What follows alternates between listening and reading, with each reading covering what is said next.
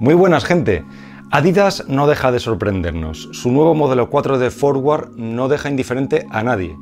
Es toda una locura tecnológica que llama la atención por su espectacular media suela y bueno, es tan llamativa que no puedo esperar a ver la reacción de la comunidad runner. Pero da igual, porque lo que sí que está claro es que es mucho más de lo que aparenta. Se trata de una solución de alta tecnología donde Adidas ha volcado cuatro años de estudio y desarrollo. Os contamos todo sobre esta pieza única.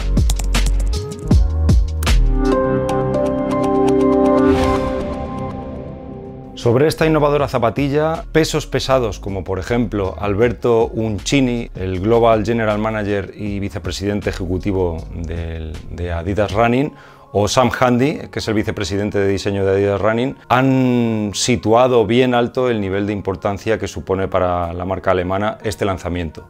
Según cuentan, son cuatro años de desarrollo hasta llegar aquí donde estamos. En 2017, el laboratorio de ideas Futurecraft de Adidas se asoció con Carbon, empresa tecnológica de Silicon Valley, para aprovechar en el proceso de fabricación en 3D de la nueva zapatilla 4D una de sus tecnologías punteras, Digital Light Synthesis. Es por ello que ya hay zapatillas 4D en el mercado, pero lo que hace diferente a esta 4D Forward es la gestión de la pisada enfocada exclusivamente a la carrera a pie y de manera totalmente innovadora. Y ha sido en el Adidas Innovation Lab, en su cuartel general en Alemania, donde han creado este sorprendente modelo único en la parrilla de running en la actualidad. Vamos a ver qué tal es esta nueva creación. Hagamos primero un análisis técnico comenzando por la media suela. Bueno, esta, esta media suela es sin ningún lugar a dudas la parte más importante y llamativa de este nuevo modelo. Es imposible desviar la vista de la estructura que la conforma y hasta que no la has manoseado un buen rato no te das cuenta de que esta zapatilla también tiene suela y corte superior. Sin duda que la impresión 3D ha llegado para quedarse, eh, pero es que aún cuesta asimilar el abanico de posibilidades que se ha abierto. ¿no? En Adidas lo saben y se han tirado de cabeza. Junto con Carbon han trabajado en un material líquido que se fusiona con oxígeno y al que se le da forma con luz. En estos cuatro años de recorrido han logrado ir eh, aligerando el material, haciéndolo más amortiguado, introduciendo nuevos colores y materiales provenientes del, reciclado principalmente y bien. Pero bueno, si ya hay zapatillas 4D y algunas de ellas para running, ¿dónde está la principal innovación en estas 4D Forward? Pues precisamente en el nombre, ese FWD Forward, siglas para referirse a Forward adelante en inglés, es la clave para entender este modelo.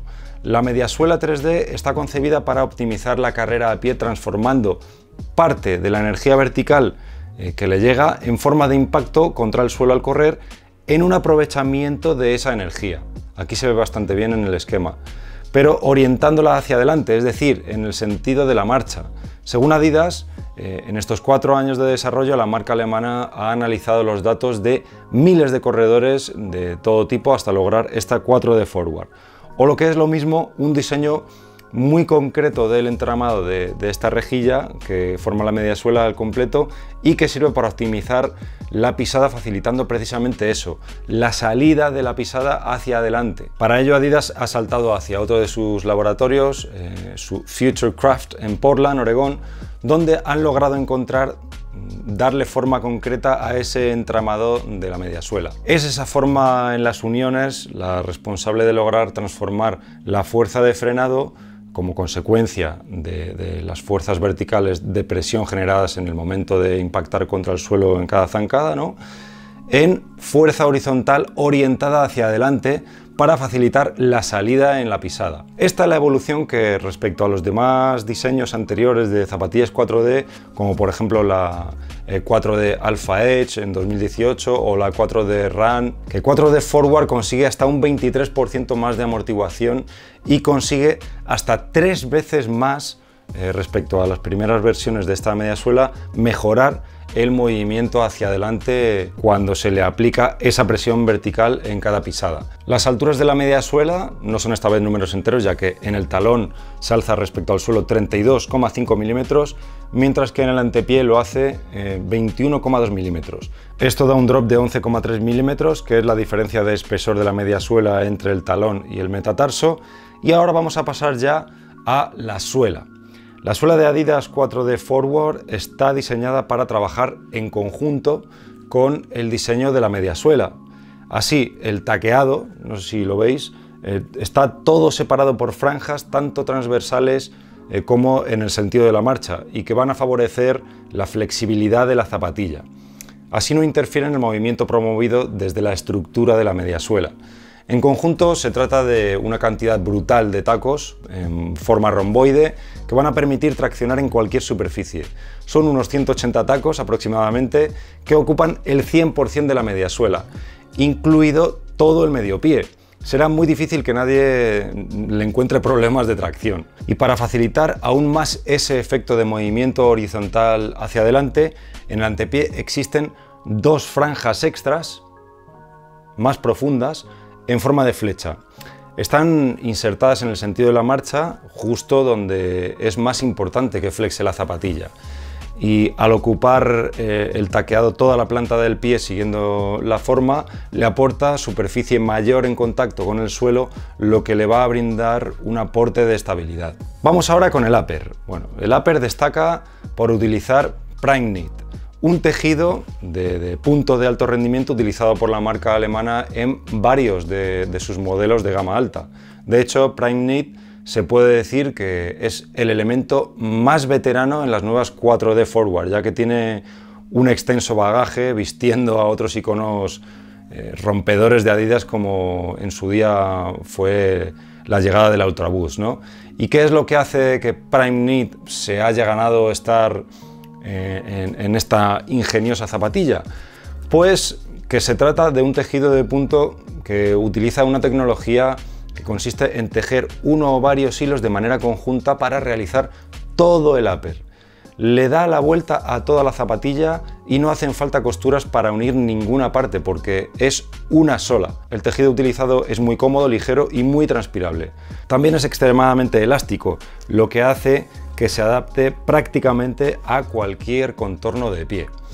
Obviamente para lograr una óptima sujeción en cada zona el tejido es más tupido o más abierto dependiendo del punto donde se despliegue. Porque esa es una de las gracias del Prime Knit, que se puede desplegar de una sola pieza en una estructura de botín que abraza al pie y eso sin dejar de ser muy abierto en una zona de los dedos, muy tupido en los laterales y también resistente en la puntera. Como no podía ser de otra manera, el logo de las, de las tres bandas va a trabajar también en forma de refuerzo en esta zona central que es la que recibe máxima tensión de los cordones al cerrar la lazada. Cordones que están pasados por cinco ojales que son cinco cinchas al lado de la zapa. Además, y esto de manera discreta, vemos que Adidas ha añadido un refuerzo en forma de piel sintética por el interior de la zapatilla al otro lado de las tres barras, digamos, por el interior.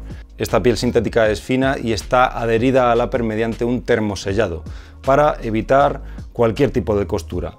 La estructura es de tipo botín, pero como Prime Knit es elástico, facilita el poder introducir el pie. Por si acaso, el talón está coronado de, forma que se crea una tira que ayudará a meter el pie sin dificultad. Como anécdota decir que eh, ese contrafuerte no está abierto en la zona central como sí hace Adidas en algunos de sus modelos, especialmente en la saga Ultra Boost. El símbolo que se ve en el talón, 4D con dos aspas, viene a representar el forward de nombre y aún queda una cosa relacionada con el interior de la cazoleta y son unas almohadillas que van a encajar perfectamente bajo los maleolos haciendo que el nivel de sujeción y confort aumente eh, de manera considerable.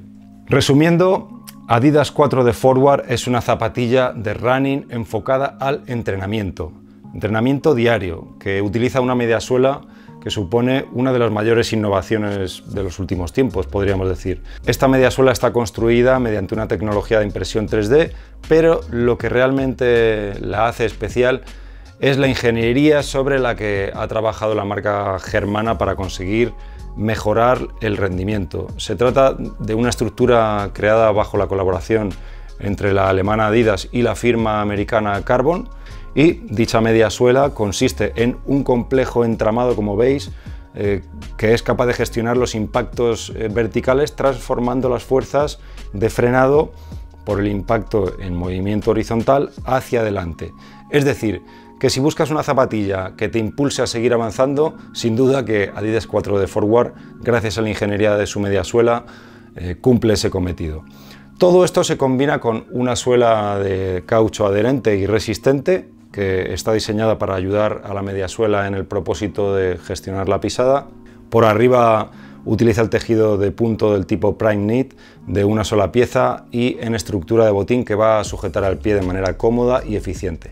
El peso es de 333 gramos, mientras que con unas alturas de media suela de 32,5 en el talón y 21,2 en el antepié, el drop queda en 11,3 milímetros.